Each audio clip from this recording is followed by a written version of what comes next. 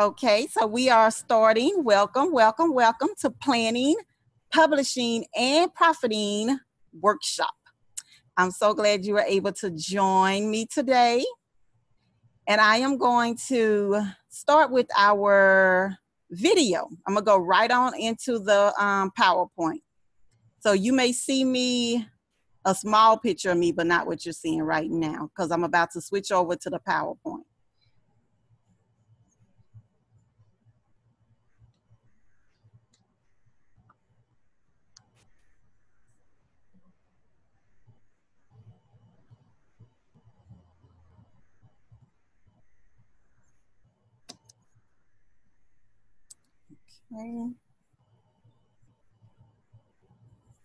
I'm beginning.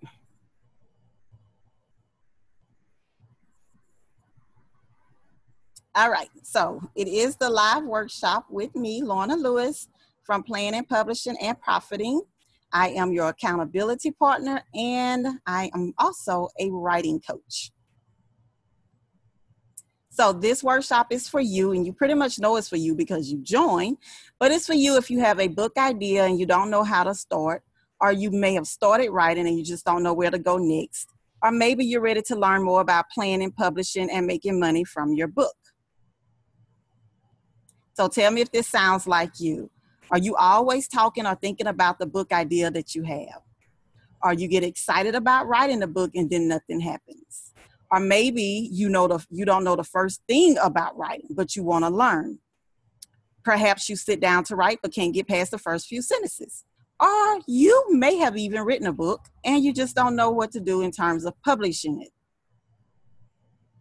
Maybe you can't seem to squeeze writing into your already busy schedule which we all have. Or you're not sure if your story ideal is marketable which is a valid concern Maybe you're constantly questioning if you can really pull this off, if you can really write this book. Are you not sure who's your ideal reader? Who are you writing this book for? So, in the next two hours, I'm going to share how to find the right outline for your book, how to publish your book the right way and to avoid the mistakes that I made in the beginning, and how to make sure you're promoting your book to the right readers. Because if you don't have the right readers, they're not going to purchase your book. So you have to make sure you're publishing and promoting to people who actually want to read your story. Oh, hi, Darva. I am going, hold on. I need to go back. I skipped some slides. Previous. So my promise to you, and I apologize, y'all. I came outside because I kept every time I do a workshop, I drive my family out of the living room and they're stuck in the room for like hours. So I came out here so that they can just have free range of the house. So please let me know if you can't hear me or if, you know, anything is too distracting and I'll try to shift or something. So my promise to you is a clear understanding of what it takes to plan, publish, and profit your book successfully. And once you develop the right mindset, you'll have clarity on the story you want to tell, how to develop it into a best selling novel, and identify your ideal reader. You'll feel more confident in your ability to actually write your book, and you'll master the art of promoting and marketing your book the right way because that's where the money comes from. So let's dig in. Who am I? For those of you who don't know me, I have been coaching or teaching for over 16 years. I self published my first novel, Dirty Little Secrets, in 2009. I went from selling very little, my first book, to making it to the bestsellers list by my third book. I've coached aspiring authors, everything from becoming a national best-selling author, how to plan their book, how to promote their book, how to market their book, where to publish their book, all of that good stuff. I've had the opportunity to attend a lot of workshops um, who were hosted by not only national best-selling authors but also New York Times best-selling authors. And the things that I'm about to share with you, I've heard at pretty much all of these workshops.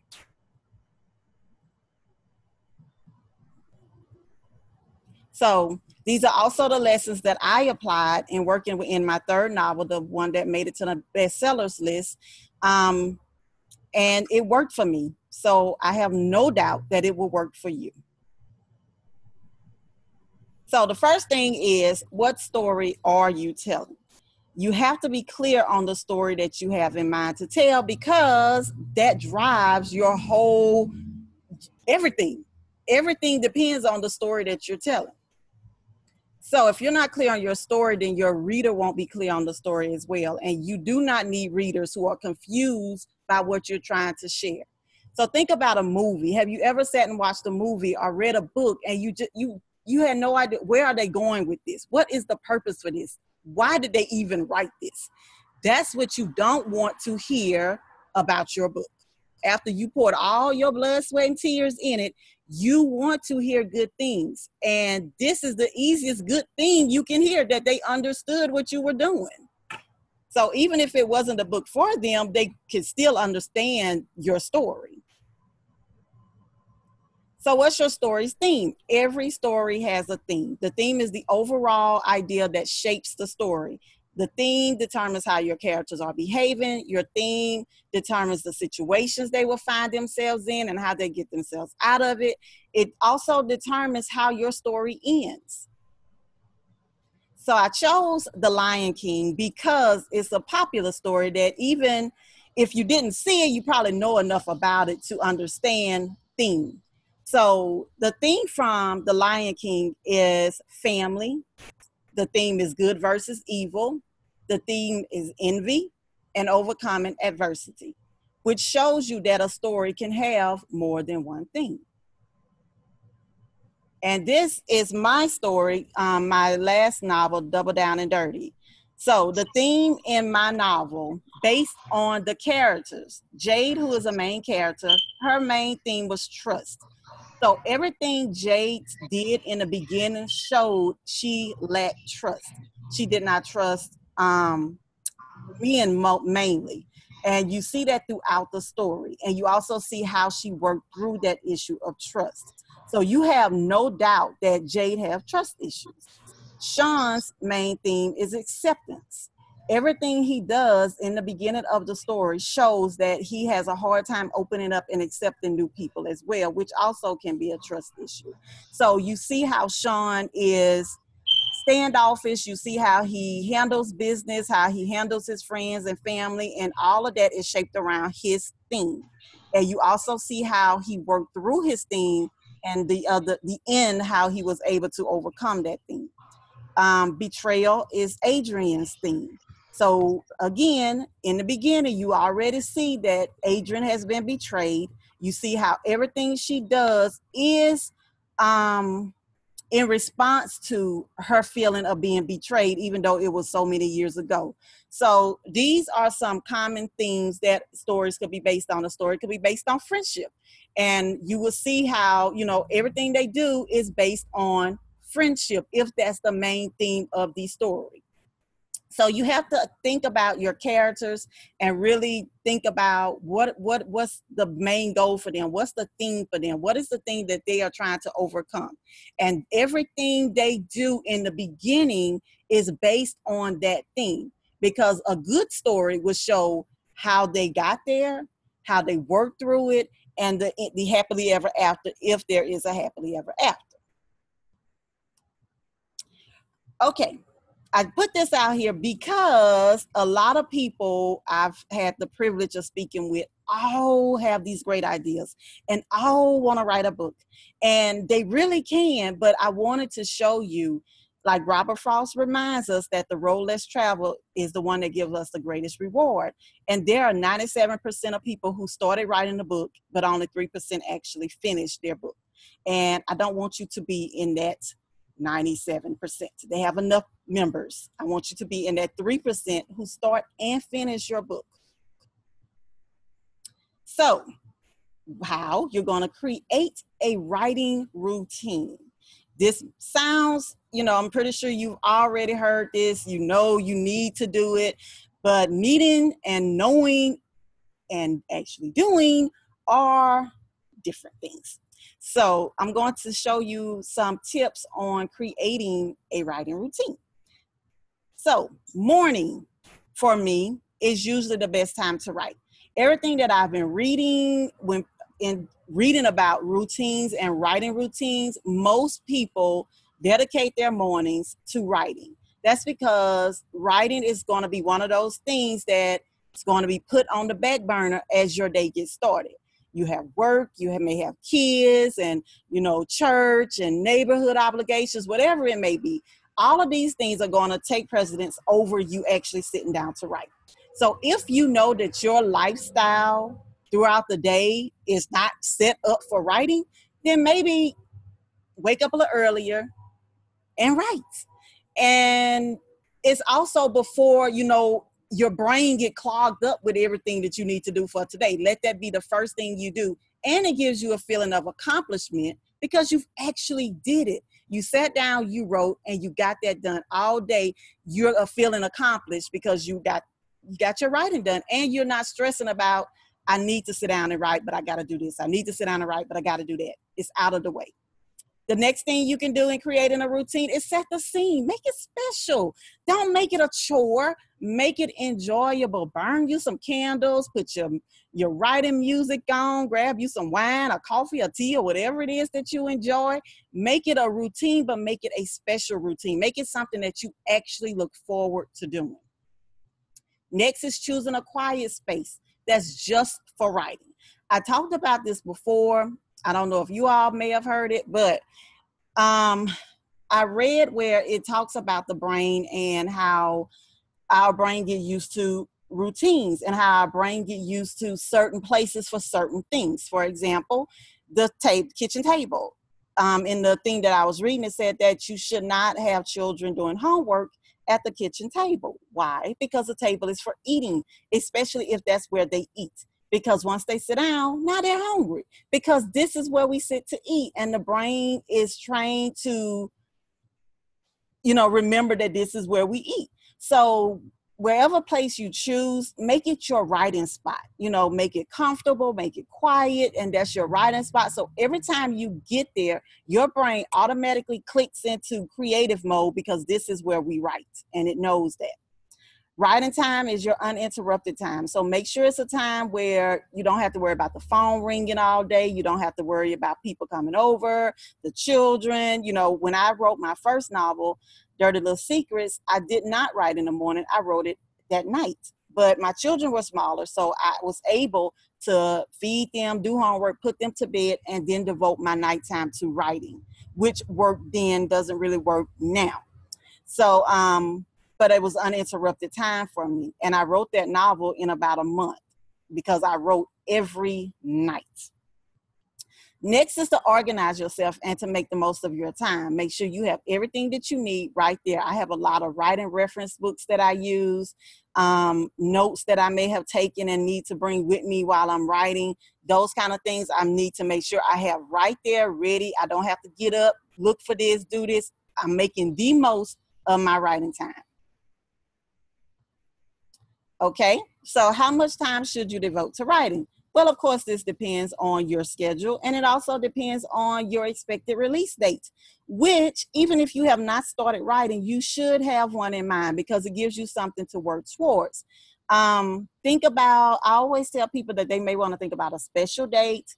Of course, be realistic. If you are trying to write a novel, I would not say, say September 1st, I want to release this novel because that's very, very, very unlikely but choose some time, you know, for out. Give yourself at least a year and think about a special date that you would like to write this novel and put it out. That way, you're able to say, then I need to devote X amount of time each day to writing this novel.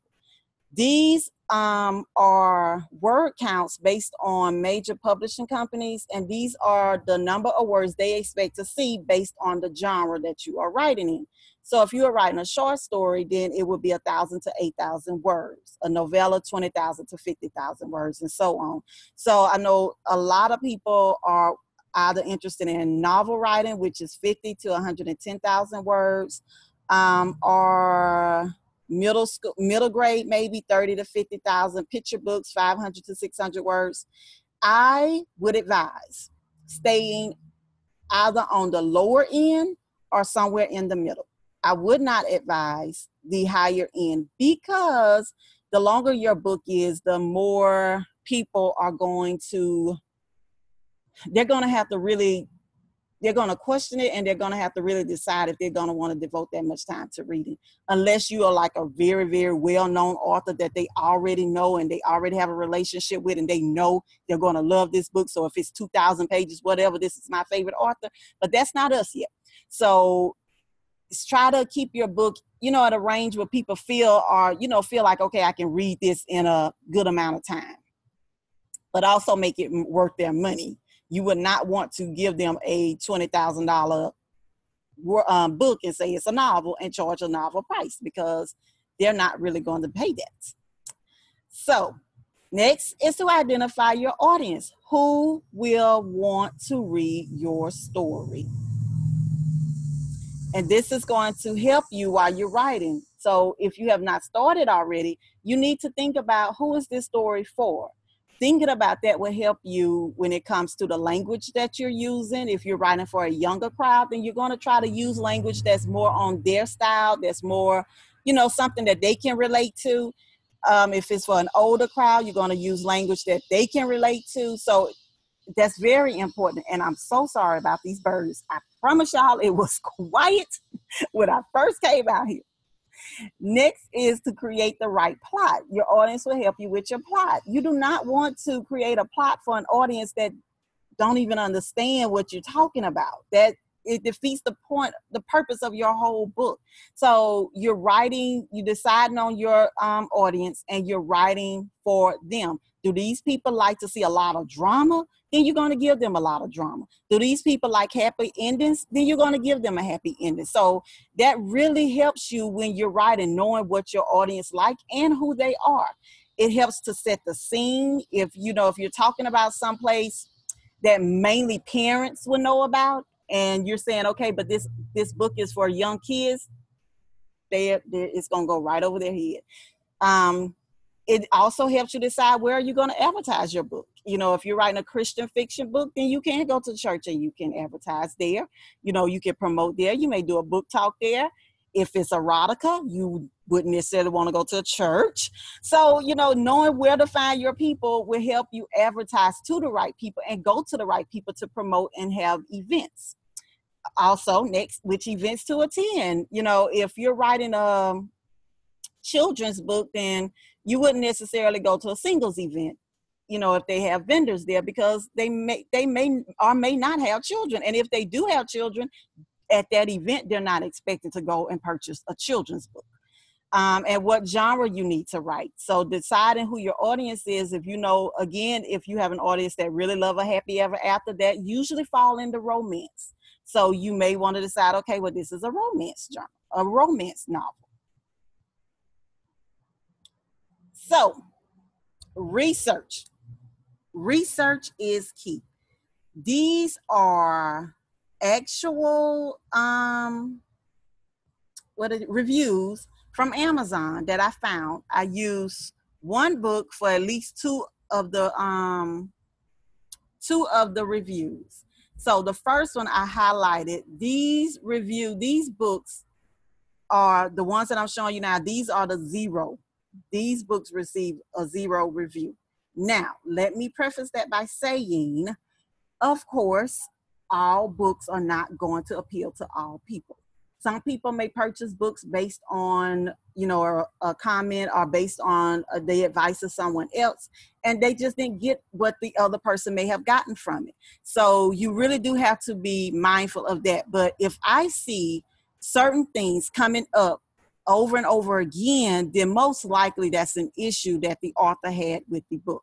So the first thing I highlighted was it seems as if it were very hurriedly and sloppily thrown together, waiting for it to get good, kept waiting for it to get good. That was the one review from the one book, and this was the next review from that same book. Rushed. Women were too stupid to be believable, very unrealistic at times and this was the next one part of the book dragged on too long too over the top senseless and the next well actually this one was the same book predictable ending cliche so if i'm seeing that over and over again then i would know that something somewhere along the lines the author dropped the ball in terms of really taking her time and developing this story. It seems like she rushed through certain parts of the story. So if you're reading this review, you would keep that in mind while you're writing your work remembering that okay i can't rush through it. I really have to go in depth. I really have to go in detail and give my readers what they want. They want believable characters. They want the book to really feel natural. They don't want it to be over the top. They don't want it to feel like you just rushed through and through some words together. So you really want to keep that in mind. And this is for a fiction novel. So this was a these were five star reviews Characters have evolved, structured perfectly. No character was left bland. Um, the next one was hook her readers from beginning to end. Pacing was written in a way that left the reader savoring every word, like the secondary characters. And I'm going to pause there because, especially if you are a fiction novel writer, let me tell you that most fiction novel writers who write series do really, really, really well. Because think about a television show or a soap opera. People really get invested in these characters. So you may find that your first novel may do okay. But if you write another novel by, you know, based on these same characters but a different plot, then you are going to get more readers because the people who really like that novel, your first one, are going to recommend it to other people. Let me check that. Oh, I found something on the web about. I don't know why that happened.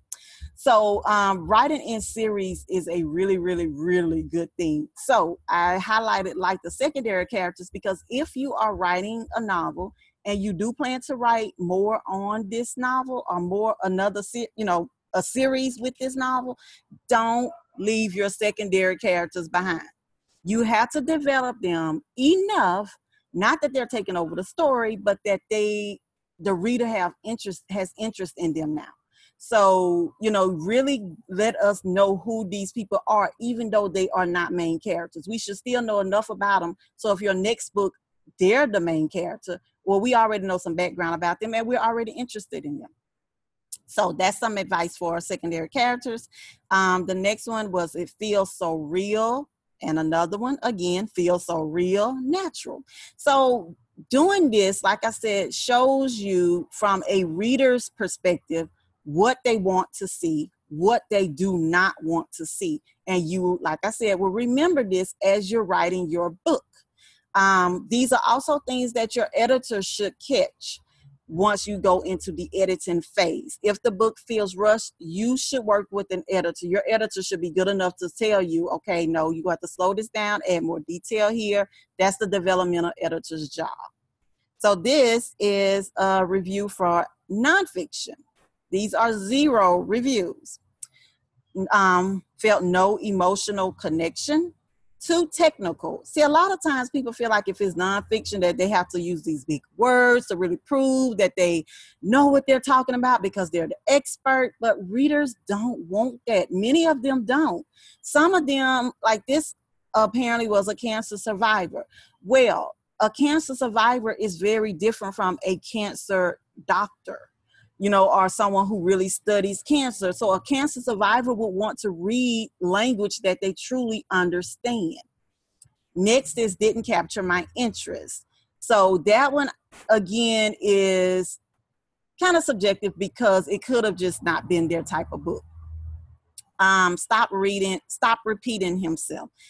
Again, remember I did the um workshop on Facebook, the Wednesday workshop with unnecessary words, because we tend to say stuff over and over again, thinking we are really driving the point home, which is okay if you are giving a speech. But if you are writing a book, the readers don't want to read stuff over and over again. I don't care how many different ways you say it, just say it and then let them you know, if they need to go back and reread it, let them do that. But don't keep saying the same stuff over and over again. Um, the same book, a different review, repetitive and outlandish. So again, this person gave it a zero because they didn't want to keep reading the same thing over and over again. So as you're going through your book, and it may not be as soon as you write it, because here's the thing when you write your book, you should write it, you should put it away for at least a week pick it up again and read through it again. Then you're looking at it from a different eye, a fresher eye, and you're able to pick up on things that you missed the first time you're writing because you know what you meant to say. And in your mind, that's what you said. So if you put it down and come back to it a week or so later, you're able to read and realize, oh, I didn't say that. I didn't mean to say it that way. Or, oh, I said that so many times. So, you know, it's different. So you should do that before you even send it to an editor. Uh, the next one is poorly written, embellished from the man himself. And this was written, that was that one was from a book, a nonfiction book based on a real a person. Someone else was writing the book about this person. So they're saying we know him well enough to know that this book may embellish. And if you're writing a nonfiction book, they expect the truth. Not you, you know, they don't want you to heighten it or anything to make it more interesting in that aspect. Take, you know, in terms of changing who the character really is. Um, next has not been edited. And let me tell you, Readers are so not friendly when they have paid their money for your book and it is riddled in mistakes. They hate it and they will not let you live it down and they will go on and on about it and they will tell other people. Editing is the part that you should not shortchange yourself on at all. Please make sure you invest the money needed for a good editor because they are going to help you make or break your book. Okay, moving on. Five stars, held my interest, very readable, need not be a scholar to understand. So the language was very understandable, even though it was a nonfiction book. Next, effortless to read, never tedious or boring interesting, entertaining, and informative. Written wonderfully, honest, and devastating. Writes like she feels, pulls at my heartstrings. And this I thought I thought was very, very important because a lot of times nonfiction novels are looked at as maybe boring and you know oh it's just you know to learning purposes people don't really think of nonfiction novels as entertaining and easy to read and engaging, which they can be, just like fiction novels. So, you know, if you're writing a nonfiction book, just remember that people, even in nonfiction, they want to be entertained. They want to be able to pick up your book and feel like they cannot put it down. Bring your story to life. This is probably my favorite because I love creating a scene. Bring your story to life. That is, if I can click on it. Okay, so this is from my book, Double Down and Dirty. Um, I just highlighted or bold printed the, the terms where I felt like you I was really describing this scene. So for the first one, and this is how it starts off, a visit to hell would have felt better. Now, I could have simply said Jade was angry. Jade didn't want to go there but I felt like a visit to hell would have felt better, really showed you how much she did not want to be where she was. The next one, the cool air that greeted her. So you know you can feel this cool air and greeted her. Apparently, as soon as she walked in, she felt that air. So I could have said as soon as she walked through the door, the air, she felt air. But the cool air greeted her, really brought it to life more. Um, the next thing I had in bold was a raven haired receptionist. I could have said a red headed receptionist, but that wouldn't have been quite as impressive as a raven haired receptionist. So, and I'm not saying you have to be all fancy with your words like that, but what I am saying is set the scene and really describe it in a way that lets us feel like we are there. Don't just tell us that it was cold tell us that the windows felt like they were frozen, you know, so, something like that, or your fingers felt like they were about to fall off. It was so cold. So, really, really, really help us to feel what these characters are feeling, even if you are writing nonfiction. So, again, from um, Double Down and Dirty is um, in our condo, dark shiny wood floors against the white walls gave off a rich yet cozy feel. I'm telling you, I'm showing you, I'm sorry, what her apartment looked like without saying there were dark wood floors and white walls, and Jay felt very cozy. That you okay? So uh, your reader may be thinking, "And what's the point?" Um, next, um, Crimson Living Room set in her color scheme of red, orange, and a splash of yellow here and there. Again, I am showing you what her apartment looked like. But not only am I showing you what it looked like, there's a purpose. I said um, at the next sentence, she loved bright spaces. And if she had to guess, she'd say her sperm donor was the exact opposite. So it's not just that I'm showing you this um, apartment, but there's a purpose for me showing you this apartment because I'm letting you know how opposite she is from her father and how much she dislikes her father and calling him a sperm donor, obviously. So, in setting the scene, make it meaningful. Don't just you know tell us how everything is and i gave you an example an example in your workbook where i talked about a kitchen and i talked about the um the mar- the tile floors and the marble countertop and the stainless steel appliances and in your workbook, I just really just named everything in the kitchen. Well, that was one example. The next example was that she walked into the kitchen that she used to love, and I don't know it verbatim, but something like this. She walked into the kitchen that she used to love. Her heels clicked against the marble floors. She admired the stainless steel appliances that at one time stole her heart. The chandelier above the marble above the marble table, um, held special meaning of a happier time. So it's not just that I am telling you what the kitchen looked like, but I am using the things in the kitchen to set the scene and to show how my character is feeling. Because when I said um, the chandelier above the marble table reminded her of happier times, then you know that something is going on in her life that is not so happy right now. So make it meaningful. Make your words count, even in setting your scene.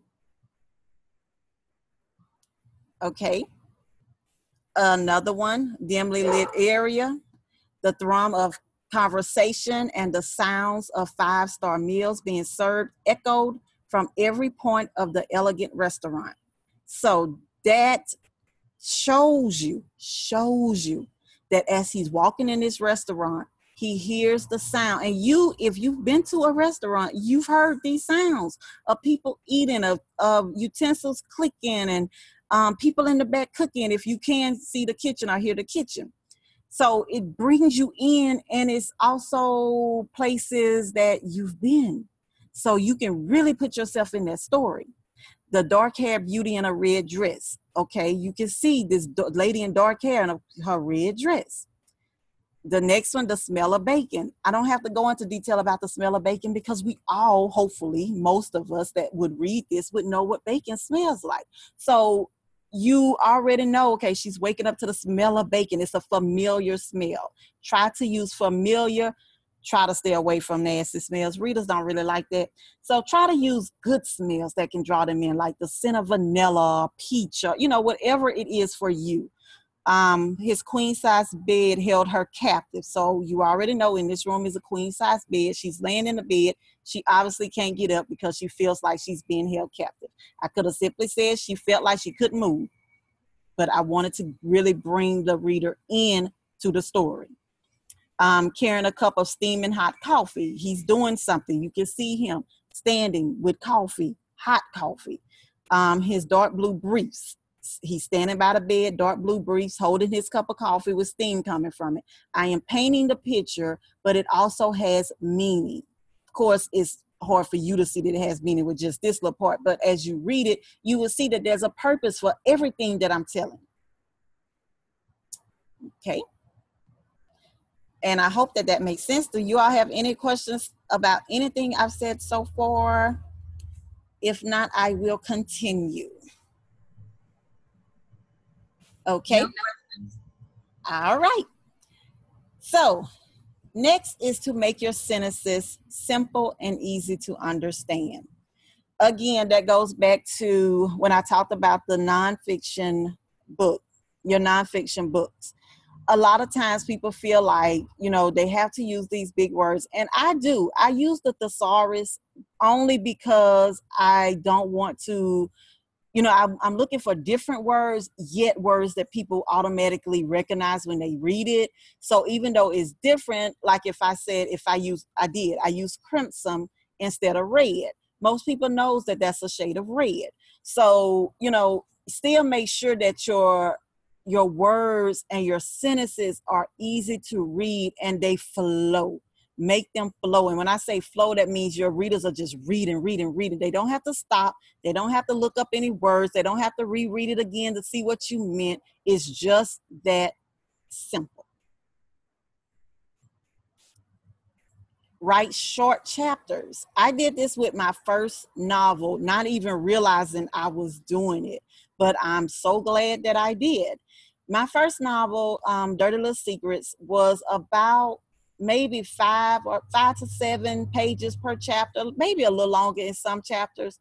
But what I heard from a lot of readers, and like I said, I didn't even realize I did it until the readers started telling me how, you know, they were so into the book and then they will see that it's only a few pages in the next chapter so they felt like okay i can read these few pages and then i'll be done. But every chapter left with a cliffhanger ended with a cliffhanger. So then it's like oh shoot. Okay the next chapter is only five more pages. I'm gonna just read this and then i'll be done. And before they know it they're almost finished with the book in one sitting. That's what you want your readers to feel. If they pick up a book and there are 20 something 30 something pages in a chapter nine times out of ten their their schedules are going to tell them you do not have time to get into this book because it's 30 pages in this chapter and what they hate is having to stop in the middle of a chapter and start back up again because who knows when they'll be able to pick it back up again and now they're lost. So if your chapters are shorter then they're able to read them in one sitting and you know if they have to pick the book back up again later then that's fine but at least they made it through that chapter so try your best to keep your chapters between five to 10 pages. I, I would not go over 10 pages. Draw your readers in from the very first sentence. The very first sentence, because other than your book cover and the back of your book, the next thing your readers are going to do is open it and read your first page. If that first sentence don't hook them, they're putting it back and they're moving on to another book because they are looking for something that they're going to pick up and be captivated by at the very beginning. I know because I do the same thing. And um, I was sharing with one of my clients the other day about my when I first started writing Dirty Little Secrets because I wrote it on a whim. I was writing a I was working on a workbook for children and I just wanted to keep writing, but I couldn't make their stories long. So I said I'm gonna try and write a story. Of course, it had to be about a school teacher because I was a school teacher at the time. So I wrote that book. I think I may have written two or three chapters by the time my husband came home. I read chapter one to him, and he said, "Oh, okay." That's boring. And of course, my little feelings were crushed because I thought it was really good. And then I told him, but it gets better. Wait, you got to keep listening. It gets better. And he said, but who's going to keep reading if it's boring at in the beginning? And it was like the light bulb went off at that moment because I've always been an avid reader. I've always needed to be captivated at the beginning. So why then did I think my readers would want to read boring in the beginning and keep reading for the interesting part? I know I have to capture them right then, but I didn't. So I tossed that aside and I started from where it's got interesting, and that's where I started. Started with the high points and then moved on from there. So here are some examples of some first sentences. The first one Amy was hesitant to open the room door, afraid of what she may find. Right then, you like, I want to know what she gonna find too. Next, she had been watching her neighbor's house for weeks and was surprised to find out what happened behind those doors. Next, Dan reached for his keys but remembered the time. Traffic would hold him up and he had no time to lose. And my heart wouldn't stop my heart wouldn't stop racing as I watched my biggest secret play out on the 10 o'clock news. Now, if I picked up a book and I saw, I read either one of these as the first sentence, I'm going to keep reading. And if the author is just as dramatic throughout the story as he or she is with that first sentence, I'm going to keep reading and I'm going to tell other people about this great book. That is what you want your readers to do for you, but you have to capture them like that. Again, attention spans are short. If you don't capture them, they're just like. We are like children. If we don't capture them in the beginning, we have lost them, and we do not want to lose them. Remember to teach and entertain, which goes back to the nonfiction books, because mainly nonfiction books are written to teach a lesson, or well, to teach a lesson. Yeah. So you also want to entertain them. It doesn't mean you have to be funny to entertain. Entertaining could also mean setting the scene, like I said. So um, you're not just saying everything. You're writing where your reader is seeing, is feeling what you're going through, like they are right there with you. That's entertaining them. So apply fiction rules to nonfiction writing. What does this mean? Outlining your story. Outlining your story, A, it helps you to stay focused. Um, there are, I have planner versus pantser, and I'm gonna explain to you what that is. A planner is just what it says. It's someone who is planning their story. They have to sit down, they have to plan it out from the beginning to the end in order for them to write their story. They outline. A pantser is someone like myself who just sit down and write.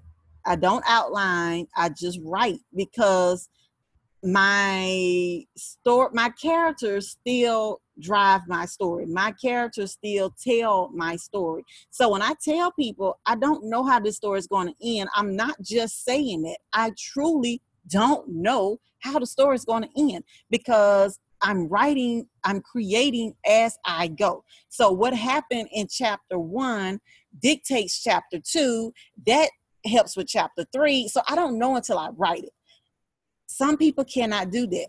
Some people cannot do outlines. So you have to figure out what works for you.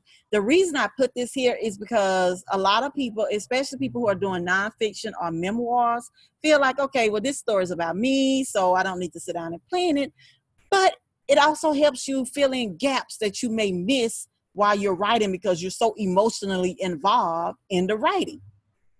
So again, you have to figure out which works best for you are you gonna plan or are you just gonna write? If you feel like you can just write, then by all means, because I do. So there are several different outlines. There's the traditional outline, which you may remember from middle and high school, where you have your big idea, then you have your A and your Roman noodle noodles, Roman numerals. so that's the traditional outline. It still works. If you want to do the traditional way, if you are indeed a planner, there's something called the snowflake method. Uh, this one is very complicated. So I would suggest if you are a planner and you really want to know more about planning and different methods of planning, I would suggest reading on it and seeing if it's um, the outline for you because it's very, very detailed. This, the snowflake method, will take you about a week or two of just planning. So with it, it starts, you start with one sentence, a very short sentence, a summary, but it's only one sentence.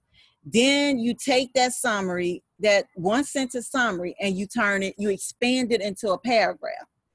Then you take that paragraph and you pull out your characters from that paragraph and you write a one page storyline for each character. After that, you expand the summary into um, the summary from Number one, you expand that into a paragraph. And your final paragraph will tell how the story ends. So, like I said, it's very detailed. I didn't even put all the steps on here because you may feel like me, like, no, that's just too much. But if you are one of those people who some people swear by this method because they are people who just have to have every single detail planned down to the last sentence, that's just not me. But if it's you, then you may want to look at the snowflake method and read about it and see if it'll work for you and your story. There's also mind mapping, which I got from writingforsuccess.com. And we I used to know this, and you probably did too, as a bubble map.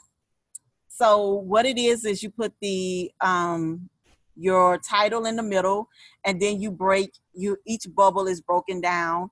So like they have the main characters, hurdles that the character's going through, the final problem, the character development, how you're gonna really develop this character, and then your um, your other characters. So this is I also knew this as brain dumping. And basically, what it is is just getting it all out on paper so that you can see it in front of you and then try and organize it, you know, however you want with your story. Again, this is one that if I were you, if you were interested in, you may want to go back, read over it, see if that's something that'll work for you. If you have tried to write your story and you just can't, you feel like you keep getting stuck, then I would definitely recommend you try some form of outline. Now, what I have done and still do to this day is I do a um, what did I call it? A scene, uh, chapter outline. So basically, what it is is I would just write um, who, what to, who. Ugh, I'm sorry, y'all. The characters that are in that chapter, whose point of view that chapter is being told from, where the setting is, um, what else? The setting and the the the sensory details for that chapter. What are they seeing in this chapter? What are they hearing in this chapter? What are they smelling in this chapter? If they can smell anything, tasting if they're out eating. I'm doing that because I need to keep up with what I've already used, um, whose point of view this story is being told from, because my books, it's the last book anyway, was told from three different points of views, but that was per chapter. So my first chapter started off with Jade, and you knew from reading that chapter that it was from Jade's point of view. And this is off, and I'm sorry, but while I'm thinking about it, I need to tell you what I'm telling you now. Point of view, because I did not put put it in here, but I should have. Point of view is whose eyes are we seeing this story from? And if you are writing a novel, and if you have more than one main character in the novel, then each character will be assigned a chapter. And if I am writing a chapter based on Jade's point of view, then that means everything that is seen in that chapter, everything that is heard in that chapter, everything that is tasted in that chapter is through Jade. Um, you will not hear uh, Sean's thoughts in that chapter unless Jade was a mind reader. And since she's not, I would not hear what Sean was thinking because Jade can't read Sean's mind. I could um, maybe say what she thought he was thinking or what his facial expression showed he must have been thinking, but not what he was definitely thinking. And the same thing when I move on to Sean's chapter. Sean's chapter may be the same setting if they were out to dinner. Maybe the first chapter I chose to tell it from Jay's point of view. The second chapter now is Sean's point of view. Maybe the same conversation, but now he's showing what he's seeing is from his viewpoint, how he feels about what Jade is saying. So I had a big problem with point of view when I first started writing. I did not learn about it until my second and third novel, and I'm so glad that I did. But it's definitely something you want to be mindful of while you're reading because it is so easy to get so caught up in this chapter, in the writing of the chapter, that you switch points of views, and now you're telling us Sean thoughts and it's Jay's point of view. So I just wanted to say that while it was on my mind, since it's not a part of the outline. Okay, it's 650. We are doing great. Um, next, and again, I do apologize for my bird friends. I stated at the beginning, if you did not hear me, that I came out here because I keep um, locking my family up and in their rooms, and now they're able to just be in the house without me telling them to be quiet and everything. But now it's loud out here. So anyway, moving on. Um, write in dialogue. Now, remember, this part is about applying fiction rules to nonfiction writing. Nonfiction writers, a lot of time, feel like they're just telling a story.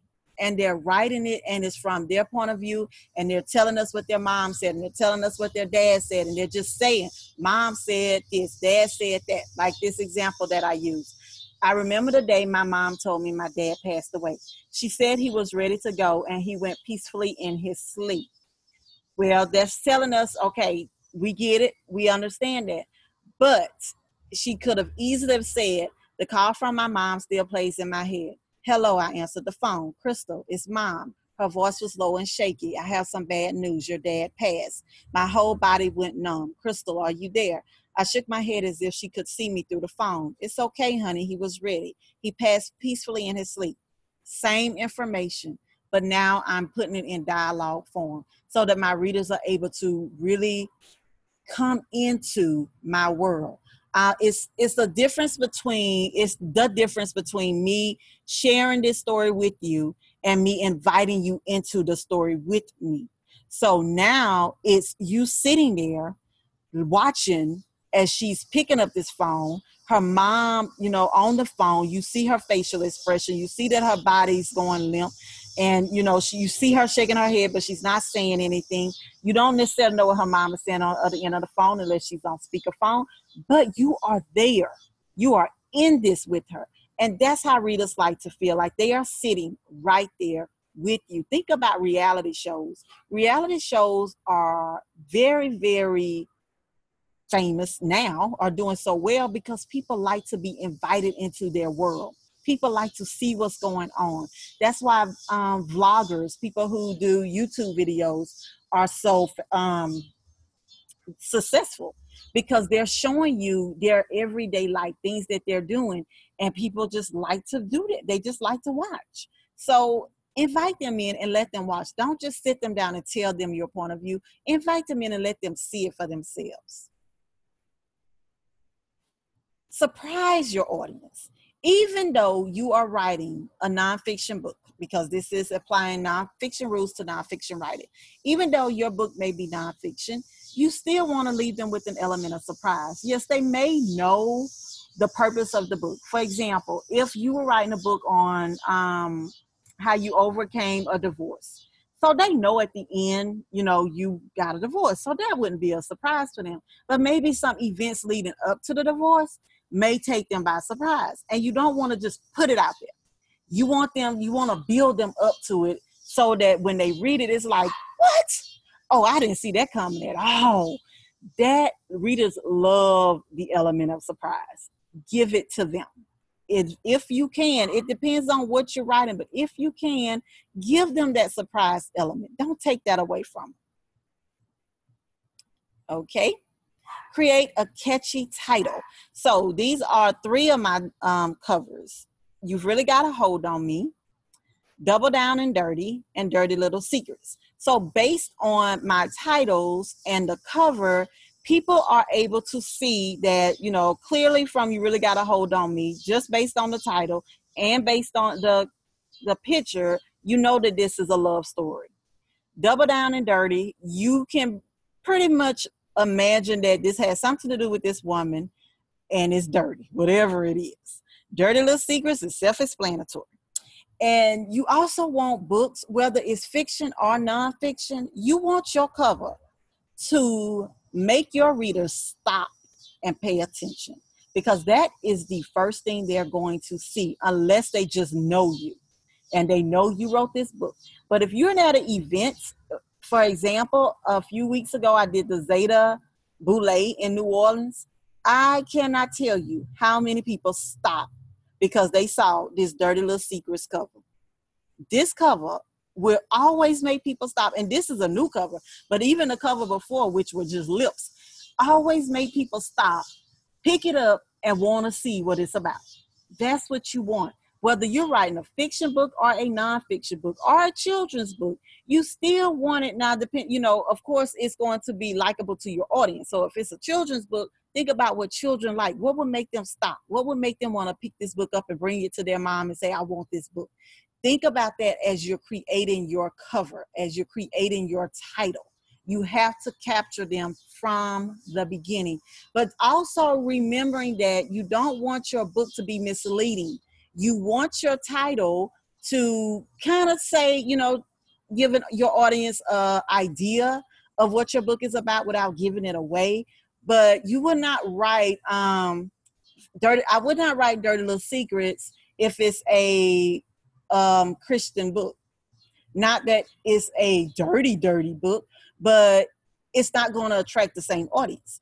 If an audience is looking for a Christian book, they're not going to pick up Dirty Little Secrets. But if an audience is looking for uh, a, a good story that they feel like, oh, this is something I look like I can get into, then they're going to pick it up. So make sure it's also fitting for the story that you're telling and for the audience that you are hoping to attract.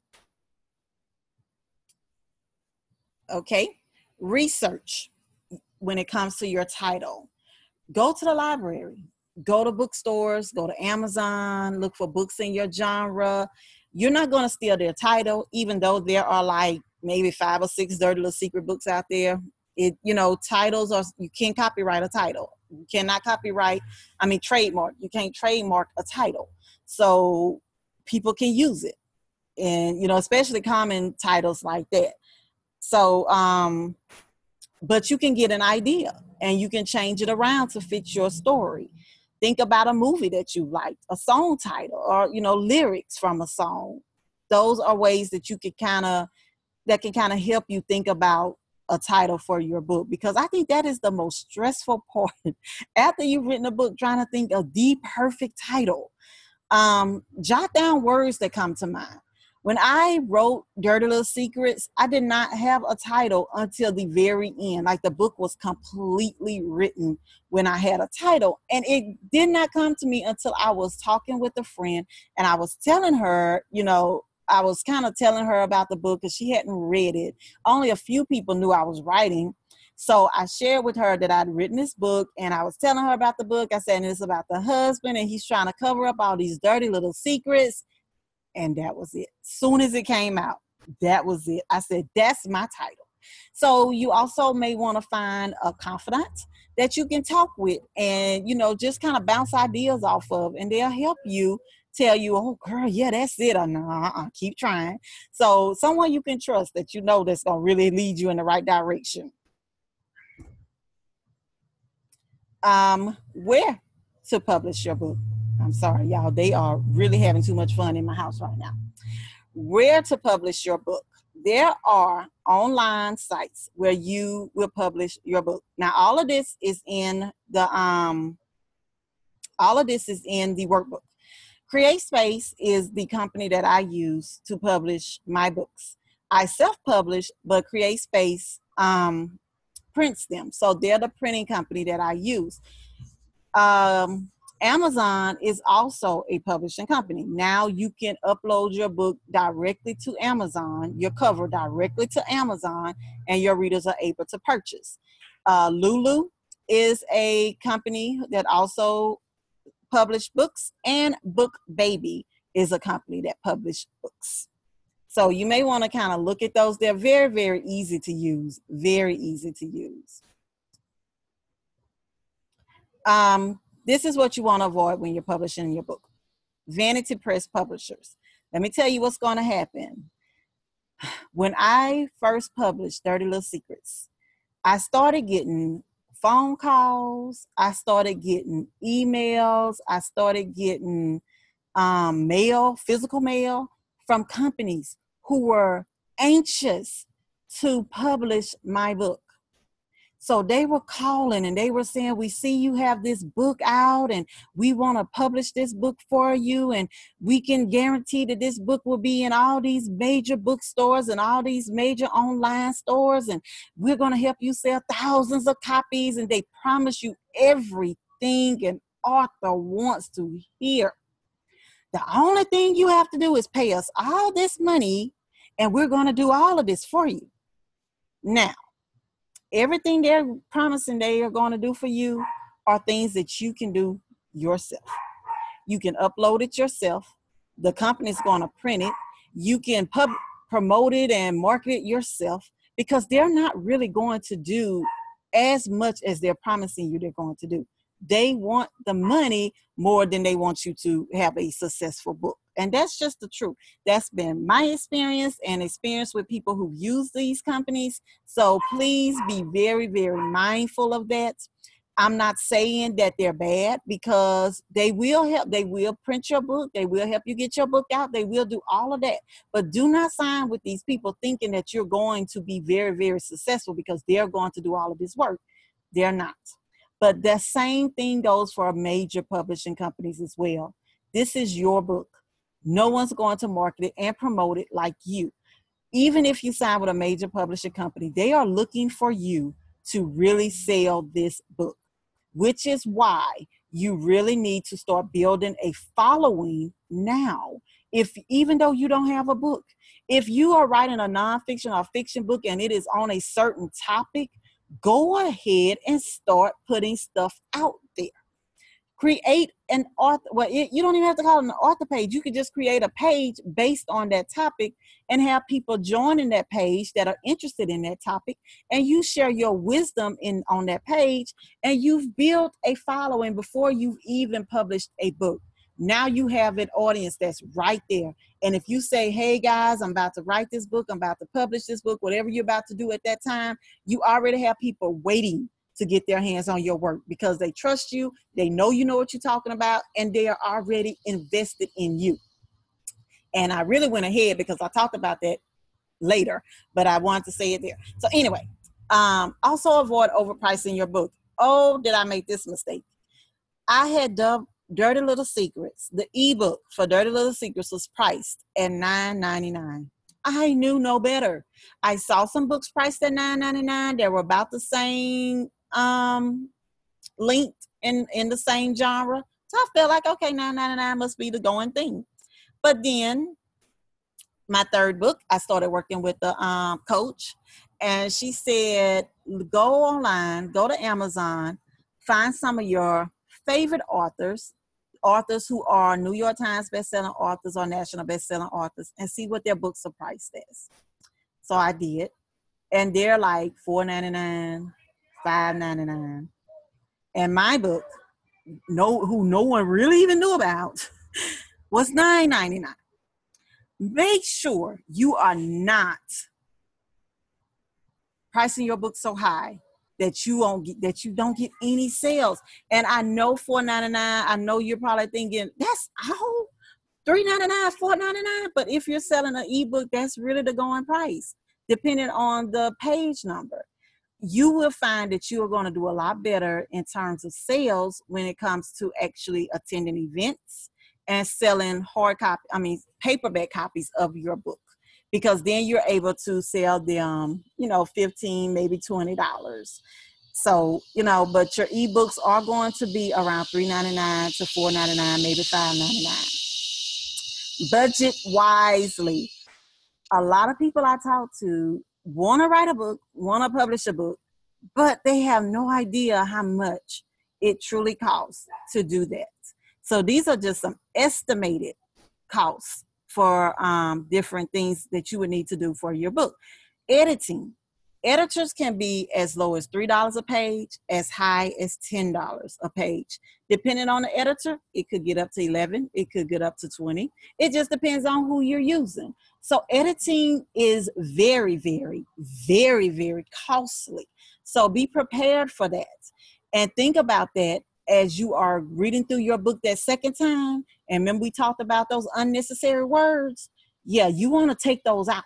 Because if they're charging five to ten dollars a page, that I'm using the higher end, you don't want to send them 200 pages and they end up cutting a hundred or, or 50 you could have did that. So you know you're going to try to be think of your words as money. Each word is money. So if you don't have to spend money on that word take it out be very mindful of your words book covers can cost up to $150 on up to 400, maybe $500 um, your isbn could cost you $150. Now, here's the thing about the ISBN. Companies like um, the, the publishing companies that I told you about are truly publishing companies.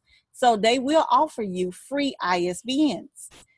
What that means is when your book goes on Amazon, they are listed as the publisher of the book. They don't get any more money than they would have gotten just for printing the book. It's just you have to have a publisher. So if you know that the likelihood is that you're going to be writing many books, then you want to think about starting your own publishing company. It's not as hard as it seems. It's just a matter of going down to your Secretary of State and getting your um, company name in the on the books, and you know getting your your tax ID number and all of that. And um, that's you know you everything that you would do would be through your company and if you are like me and really truly making this a business, then you start thinking about how am I using this company to my advantage with your taxes, you know, with your paper, with your ink, with you know, if you have to go somewhere doing a book signing, there's cost, that's a tax write off. So, you know, basically you make it work for you. That's why I keep saying that being a self published author is truly a business because there are so many things that you have to think about and pay for. So you want to budget your money wisely. You want to start saving because it's going to cost somewhere. You know, there are people that say, well, my aunt is an English teacher, so I'm gonna let her read it. And she may be able to read it for grammatical errors, for spelling errors. But if you are writing a fiction or nonfiction book at this point and you really want it to flow well and you want to, the gaps to be filled in, then you need someone who is skilled in that area. Just because someone is an English teacher does not mean they are skilled in the area of developing a story. That only means they are skilled in teaching English. So be careful because let me tell you, if you shortchange on the editing, it will show. It will show, and you do not want it to show marketing material things like um and you know of course marketing material isn't mandatory it isn't oh i wrote this book now i have to hurry up and go out and buy bookmarks and buy you know pens and you don't have to but i'm just i put it here because somewhere along the way you would want to because flyers or um, postcards with information about your book and your contact information. Is very very helpful because if like i said when i went to the zeta boule everybody did not walk away with the book but the people that i could reach did walk away with my information. They may be a reader later on so you know it's being able to put your information in as many hands as you can creating a buzz about your book. You want to get people talking about your book. You want people sharing information about your book you want that because other people are going to buy it think about if you if someone told you about this great meal that they had. You know nine times out of ten if you're into the meal that they're talking about you're gonna sorry you're gonna want to try it. You're gonna want to go and try it. You're gonna want to buy it. If someone is talking about you know this great you know it depends on whatever it is you're into. So if they're readers and they're talking about a great book you're to go there. I do it all the time.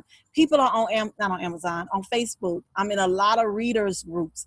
People are sharing information about books, and oh, I just couldn't put this book down. I read this book in one sitting, and then with uh, the more people that chime in about the great book, I'm gone to Amazon to buy that book. That's what a buzz does about for your book. It's just you know if if people love it, you're gonna want to try it too. It's just how we are. So here's how you create the buzz. Remember, I talked about that author page, that Facebook page. Well, the closer you get to finishing your book, go ahead and start your author page. And you know, your author page is where you're sharing information about your book, you're sharing, you know, details and doing different events in your author page. Like in my page, in my group, um, the Writing Warriors group, like I do the Wednesday workshop in your author's page, whatever your book is about, you may do something themed around that leading up to your book release. Um, build your email list. The email list is great because everybody, you know, we assume that people see things on Facebook, but everyone don't. You know, just because we put it out there does not mean that they see it. But if you email it to them, then it goes directly to them. So building your email list is very, very great. You may not really build your list until after you've um, publish your book and start doing more events, what I always have is a clipboard with just a simple form. People can write their name, email address, and I just ask them would they mind joining my my email list. So especially if they seem like they were interested in a book, but for whatever reason couldn't purchase it, well, I know that they're a reader. So I want to put them on my email list because I email, you know, my upcoming books or new releases and all of that to my email list. And those are people that you know for sure want to read. You want to join groups and blogs that are related to your topic. In those groups and in those blogs, be active. Share information, answer questions, um, do so much that you almost put yourself out there as an expert because people will notice. If someone asks a question and you have the answer, answer it. You don't have to just read it and move on or like it and move on. Answer the question, share your knowledge because like i said they're going to notice that and they're going to reach out to you personally at some point they may become a reader um, find book bloggers there are bloggers who only blog about books what they will do is you will send them a copy of your book ask for a review and they will invite you on their blog they are always looking for new material go out there and find them um, internet radio stations. Again, always looking for new people. They will also request a copy of your book because they need to know the questions to ask. Send them a copy of your book, schedule your time to do your interview. They may have a huge following that will hear about your book, log on to Amazon, and purchase. Beta readers. Beta readers come before you even publish. Beta readers are your people who, after your book has been edited, well, yeah, it was after editing for me. So this is the process that I went through for my book. I went through it myself, sent it to my editor. She made suggestions, changes, what have you, sent it back. I went through it again, reviewed her stuff, made those changes, and then I sent it to, I think, five beta readers. These are just people who love to read. I sent the manuscript to them people that you trust because and most likely you know at that point because honestly once you've typed your book on your computer once you've emailed it to your editor it's already copyrighted copyrighted to you it's it can be proven that you wrote that book so even if you send a manuscript out they can't do anything with it and if they can they risk the you know they risk being sued because again you can prove that you were the writer of that book of that manuscript. So beta readers though are mainly people who just love reading. They are really not interested in putting a book out. So you're going to find these people. I would not recommend close family, close friends because they're going to say they love it. They're not going to know how to hurt your feelings if there's something in it they did not like. You want to use people who are going to give you their honest opinion. It may not feel good to get an honest opinion, especially if they don't like a certain part, but you rather hear it from these five people than put it out to the world and now everyone is talking about it. So take the critiques from these beta readers, use them to your advantage, make your book the best it can be before you publish it. So think about who you can use, you know, get um people to recommend people to you, you know, that they may, oh, so and so love reading. You should send it to her, you know, there it's not going to be hard to find beta readers. So those are ways that you're going to create a buzz. Oh, another thing about the beta readers is you ask them to also, you know, if there was something about your book that they really love, you ask them if they would post about it. You know, oh, I just I was a beta reader for this upcoming book and it was so wonderful. I really love this, this, that, you know, and they're creating a buzz on their page to their people about your work. Okay. plan for a successful book signing. How do you plan for a successful book signing? First of all, you have to announce it, announce it, announce it. Even if that means going old school, putting out flyers, sending it to um, these different groups, groups that may be interested in your work, you know, um, or what anything that you could think of in the library. Ask them, can you put a flyer in the library?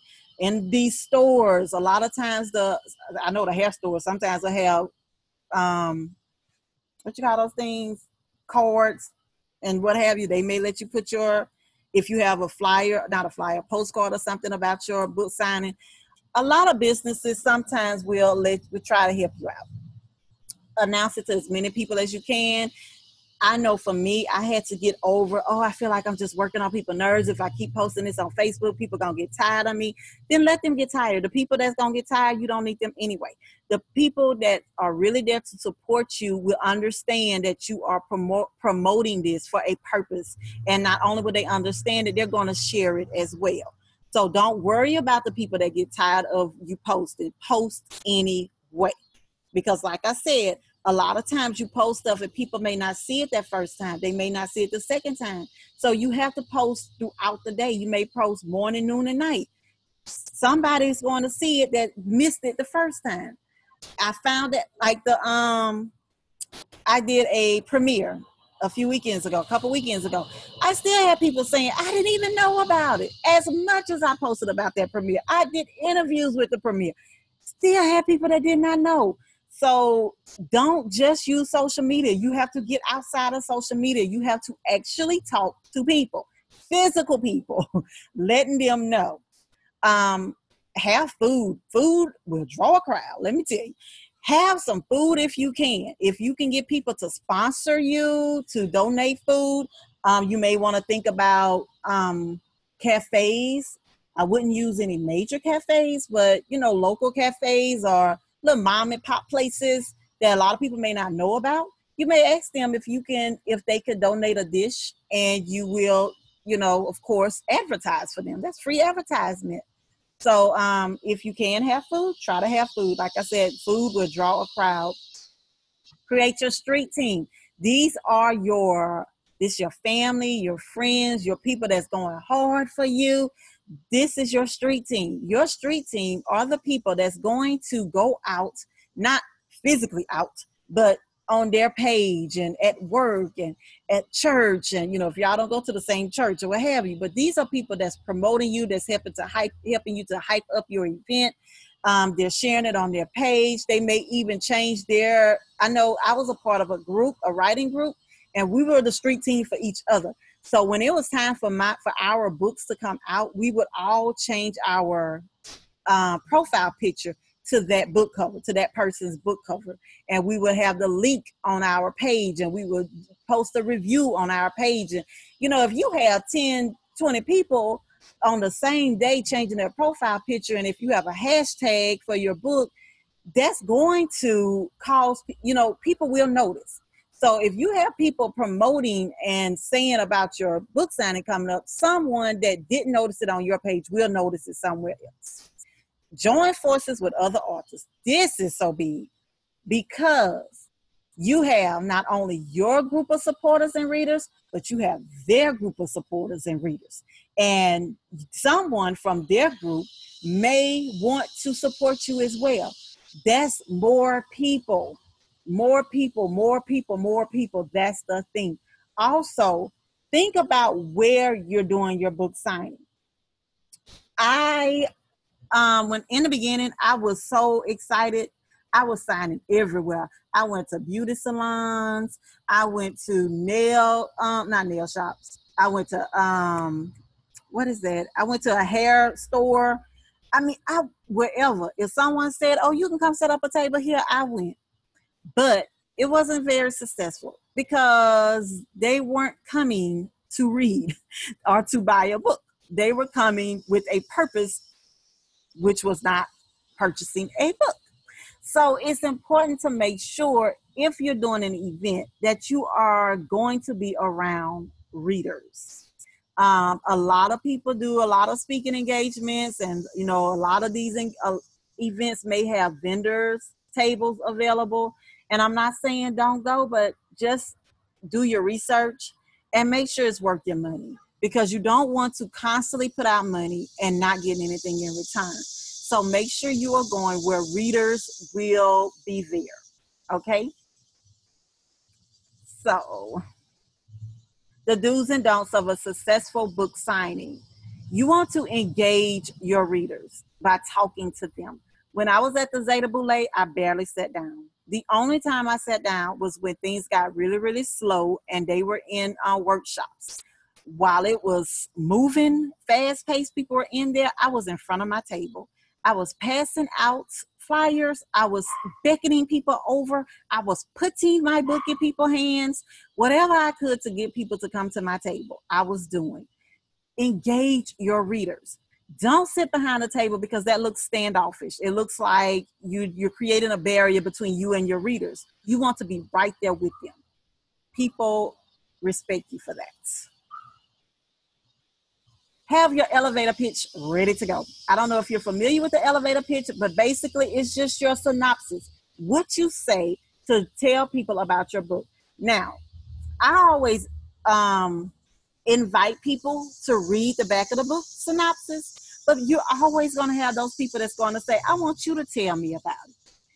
And if they do, tell them. You have to know what you're saying. You have to be exciting. You have to be engaging. Don't you know, a lot of authors, I'm so sorry, a lot of authors are not, um, what you call that? They don't really like talking in public, you know, because we're people, we prefer, we shine behind the screen, we shine behind the keyboard. That's where we do our work, that's where we are our best, we feel. But there are going to be times where we're going to have to talk and we're going to have to engage people. So go on and start working on that. You know, if you need to practice an elevator pitch, practice it. Practice selling your book because they want you to sell that book. And I'm telling you, when I'm talking about dirty little secrets, and I'm talking, and I'm like, baby, let me tell you, this woman and this man, these secrets in this book, like I'm just telling them so much that they're just like, okay, I'm gonna get it. I'm gonna, have to get it now. You done told me. So but don't give the stuff away, of course. Don't give too much away, but draw them in enough to make them want to have to buy that book. Um, think about what you're to write on the inside of the book. Uh, don't, because uh, that's another mistake I made in the beginning, trying to be creative and write all this fancy stuff to each of my readers. That's too much time. What I do now, I have like for Dirty Little Secrets, I think I just say um, enjoy the secrets, L.A. Lewis and I leave space at the top of that to write their name. So they're already pre-signed. All I have to do when they come up to me is fill their name in because they really don't want to have to stand there all day while you're writing another book in their book. So just try and think about your greeting and keep it short, simple, and sweet. These are some tools you will use to write. I found a lot of these, all of these actually. Well, there's only one I think that I did not use, but everything else I used um, when I was writing. So we have novels. Why did I put novels? And it's funny because I just had a conversation with the lady yesterday, and she said exactly what I did when I wrote my first book. She said, I used to read a lot but I stopped reading because I don't want to accidentally use someone's words in my work. So I don't want, I'm just not going to read, I'm just going to write. I made that very same mistake, and it was a mistake. Reading is so important if you're writing, especially the genre that you're writing. Read, read, read. Trust yourself enough to know that you are not going to steal anyone's work. It's not to say you will not read something that is going to inspire you or going to help you figure out where you had your block while you were writing. You may, and it's okay. But you will pick up a lot of books and you're going to read certain things in a lot of books that's going to feel the same because it's, you know, it's fine. It's fine. Don't write someone's words verbatim, you know you're not going to do that. So read because you're reading for a different purpose. You're reading to learn. You're reading for the craft of writing. You're not reading for enjoyment anymore. So if you read with a different eye, you'll go into it with a different mindset. So read as much as you can. Next is journaling. Journaling is good especially if you always feel like there's a block and you read you're writing but you just can't seem to keep going well then you can stop and start journaling journaling is free writing. You're not worried about who's going to read it. You're not worried about how it sounds. It's just for you and that's going to help warm up your creativity so that you can you're able to go and start writing again. So you know when i wrote again my first book i wrote it like i told you in three in a month. I wrote it in a month. It took a few months, of course, after that to actually get it published, but the writing process itself was not long. But my next book, it took longer. But that's because the expectation for myself has had already been built up. I gotten good reviews from the first book, and I put that fear in myself that what if they don't like this book? What if I can't repeat what I did in the first book? So it took me longer to write it because I kept doubting myself. And that's what a lot of us do while we're writing. We're wondering what will the reader think? Will they like this? How does this sound? In the beginning, just write it. Forget about all of that. So journaling is that place where you can just write and forget about expectations and all of that stuff. And it also, you're still writing. Even though it may not be something you're using, you're still writing. The AlphaSmart Word Processor, an actual tool this I use um because I was on social media too much and I was on checking emails too much and doing everything else too much other than writing. So this little device, which is about $20, I think, helped me because I'm able to type my chapter, um, it's not hooked up to any social media. It's not hooked up to anything. All I'm doing is typing. So I'm not distracted. And um, but I'm distracted by these birds right now. and what you do with the AlphaSmart Word Processor, and I'm distracted by these dogs. I'm sorry. What you do with the AlphaSmart Word Processor, you type it, and there's a cord that hooks from the word processor to your computer. So before you plug it up, you're gonna you will turn your computer on, open up a word, a blank word document, plug your AlphaSmart into your computer, and everything on your AlphaSmart transfers to your Word document. And you're able to type without being distracted. This is the dragon, the dragon, and there is a helicopter now this is really fabulous. I know I would not be doing this anymore. My family would have to be locked in their rooms from now. A dragon is a device that you hook up to your computer. A lot of people, some people, are they shy away from writing because they can't type, and they write it. But you know, if you're to send it to an editor, it has to be typewritten. The dragon, you talk, and the dragon type. So you have to program the dragon to recognize your voice, recognize your dialect, and um, then you just start typing. You just start talking, and the dragon will start typing. Then there's Grammarly. This is a editing program that you can download to your Microsoft Word. You can also put it on Facebook, um, any of your social media. Grammarly edits your writing. It lets you know, and there's a free version and there's a paid for version. The free version checks for punctuation marks and misspelled words. The, the paid for version will also let you know if a sentence or if it's um what do you call that a fragment or something like that. So it really goes in depth in your writing. So invest in mentoring. Why am I telling you that? Because it made all of the difference in the world with my writing. I wrote two books before I decided I needed a mentor. And that book that she mentored me through was the book, like I told you previously, that landed on the bestsellers list. So, mentoring is so important, especially for new authors. There's so much about the craft of writing that you don't even know you don't know you don't even know that you need to know.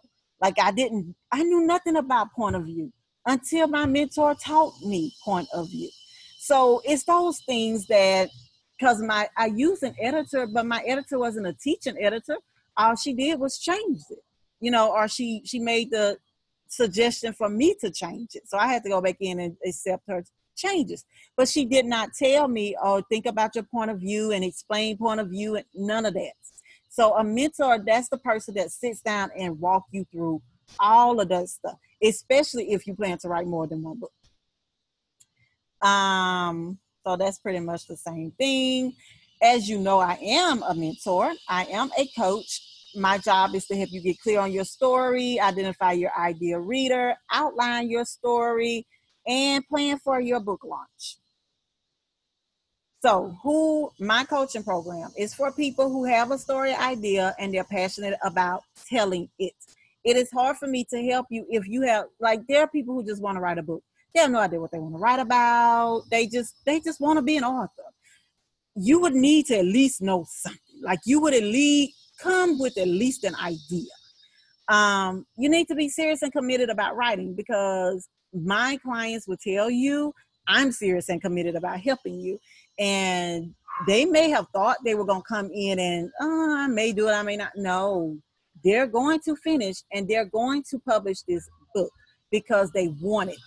And life will try to stop you. My job is to motivate you enough that you block out those outside voices and concentrate on this and they need to be willing to sacrifice some time because it's going to take time. Um, a lot of people, there are people who will write the book for you. They're called ghostwriters. You tell them your idea, they write your book. That's fine and dandy. I work with people who want to write it themselves. They want to feel that sense of accomplishment that they wrote their book. Those are the people that I work with. Um, I don't work with people who just see this as a hobby because they're not going to take it serious. I don't want to work with people who just want to write a book and, like I said, have no idea what they want to write about, or they're not committed to writing.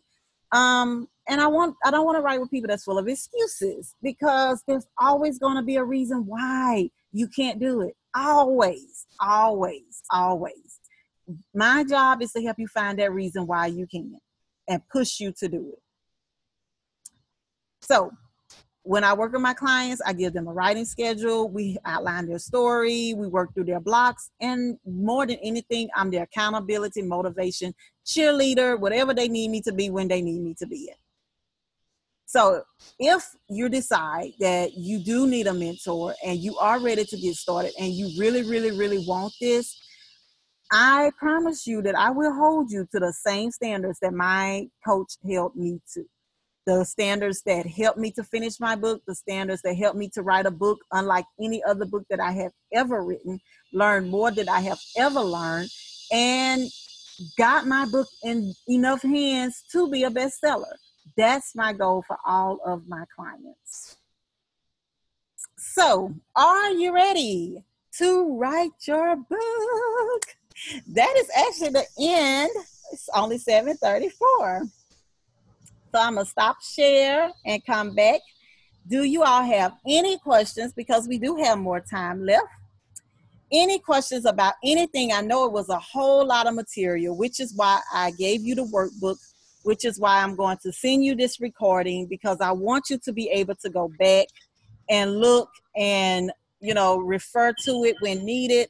Um, I'm actually going to listen to it first, and if all of this going on around us is too much, I'm going to re record it. So if I do not send you this version, I will send you a better version. So does anyone have any questions? Um, I had one question. Okay. Um, wait, I have like pages and pages of notes. um, will we get a copy of the PowerPoint? This, yes. Well, it this video, the PowerPoint will be in the video, like you were seeing it. Okay. Okay, that's good. I wanted to know the same thing. Okay, yes. This it will be everything that you've seen. You will have in the PowerPoint. Like I said, if these birds are still chirping this loud, and if sounds this loud in this video, then I'm gonna record another version. Okay. I have actually, um, I have a date set up with you for in October.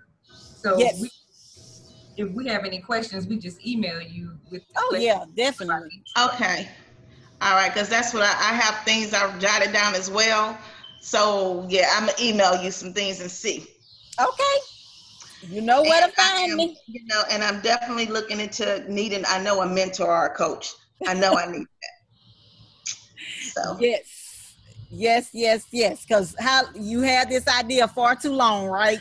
yes, far too long, far too long. And I, I have, I have done more with it, I think, the ending of the summer than I've had before. So, yeah. Look, I'm in my room and I'm like, oh my God, I took my body off my head. I was You like, look oh fine. my God, look at this. I put that paper right back up. I was like. I was like, oh my God, my head looks a mess. No, it does not. No, it sure doesn't. It does not. I was like, oh no. then my children, my, my daughter kept trying to come in. I was like, get out. So did you learn anything new? Yes, I did. I did. Good. Yes, uh, about the AlphaSmart Word Processor. hmm Where do you get that? Where do you buy that? Um, Amazon. Okay. Mhm. So Okay. you can't go inside like um Walmart or I haven't seen them at Walmart. Probably not because it's really old. The word processor, they don't really sell those anymore. So I would try either Amazon or eBay. okay, Okay. Amazon or eBay. Okay. And Um, I, I'm gonna. I tried to chat with you, and I don't know if you got it or not, Lorna, Let me see. because I wasn't. I was trying to figure it out as you were talking, Uh-huh. but I'm gonna have to go get my daughter, so I'm gonna have to leave the group. But Okay. I tried to chat, and I don't know what I was doing. No, I don't see a chat. I don't see a message. Okay. I don't know what I did. Who knows what I was doing? who knows? Who knows? But it, this was very informative. I, I was um, actually wondering, you know, about like you said, having different people kind of read a little bit of what you're doing, but to make sure that they're being honest with you and not because they, you know, they like you and they don't want to Exactly. you know, hurt your feelings. Right. So, um, yeah, that was, you know, that was something that I was kind of been dealing with a little bit. Just want to make sure that folks was who I chose to read would be people that, you know, Yeah. would be brutally honest. Yeah. Now let me say this though. In the beginning, I did you like my um my cousins, my cousin and my best friend were the people I was sending like I would write a chapter and I would email it to them. Yeah, And- yeah, They were, you know, they loved everything. But I needed that to finish because they motivated me. You know, they were like, girl, this is good. When you gonna send the rest of it? So in Right. beginning, I will use those people. But when it comes to the editing part of it and really making sure that it all makes sense, then I use outside people to, you know, help me really shape this story up. okay, okay, So yeah, in the beginning, use those people that's pushing you and encouraging you to go on and finish because you don't really need to hear the negative right now. You just get it out. and you're right, and you're right. Well, okay then, but thank you, Lorna, and I will be getting back in touch with you. Good. Thank you. I'm so happy you joined. All right, see All you right. later. Have a good one. Okay, so how do I get out of this? Uh, I mean, well, we're finished now. So Yep. If you have no more questions, we're done. when you send it, when we send it, um, when you send everything to the email, it'll just come It'll come as a, like a, a video. like the uh, like the other one did. Yeah. It would come as a video. So you would just be able to download it to your computer and or save it to your computer. Oh, okay, and then well, I did have a question about the um, like you didn't mention website, like when you're trying to get into like you know create your own website and all of that. Oh yeah. The um now the website is going to be important because once you start doing your radio interviews, once you start doing, you know, any interview, the first thing they're going to say is, "Do you have a website?" Mm-hmm. Okay, you're going to need to be able to say, "Yes, I do." So I created my own on Wix. I've used Wix and I use Webs, and both of those are in your workbook. And you could just click on the link to Wix or Webs. They are very, very easy. They are user friendly for people like me who have no idea about setting up a website. So Mhm. it really walks you through it. You choose your template. You know, it's it's very easy to set up, and you're able to sell your books through your website. So you can set up a store through your website. You said a store too? Uh huh. Where if you wanted to sell your books on your website, Mm-hmm. you will be able to do that. Okay. Okay. Well, yes, ma'am. That's what I was um I was thinking, but okay. Perfect. I really enjoyed it. I'm so happy that I didn't let the distractions get to me. I sat down and good to go. So I just can't wait so I can go back to the um, you know, go back to the the notes, my notes that I jotted down, and if it was some things that I need to review, then I can go back and into the um the PowerPoint. Yeah. And then the, the web, I mean the the workbook, we just can print that. How many pages is it? I believe it's like 18. Oh, okay. Yep, and uh, um, there are some links in there as well. So you may, you know, with with the links, you just click on them and it takes you to the website, the different websites that I talked about. Okay. All right. Well, we're I will definitely have my appointment um in October. Yes, Um, and so I think that's October fifteenth or something. We said. yeah, I wrote it on my calendar. I think so. Yeah, I don't know when I. Uh, oh yeah, uh, October fifteenth. Start eight week coaching program. so yes, we'll be definitely in touch, and then so I just pay you on um with my first payment on October fifteenth. Mm-hmm. Yes, Yes. ma'am. All right. Thank you. good. I'm so glad it was helpful. I was like, I hope it's not too much. Oh no, it was perfect because it was like I was taking an online course or something. but it was wonderful. It was good. Good. Yeah.